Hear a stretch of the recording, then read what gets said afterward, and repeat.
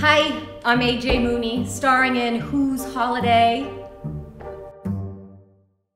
I have a one man show, which is huge! And uh, I love Dr. Seuss. I think, well, if it was dark, I think Rudolph's nose would get him out of Dodge. Um, I think that would help him, but I think the Grinch could probably take Rudolph.